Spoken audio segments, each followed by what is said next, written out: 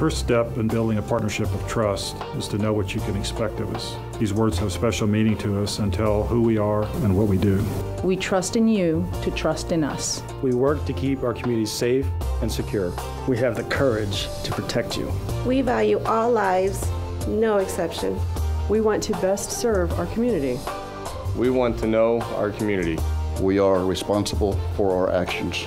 We will be here when you need us, all day, every day. We take pride in being a police officer with the University of Kansas Medical Center.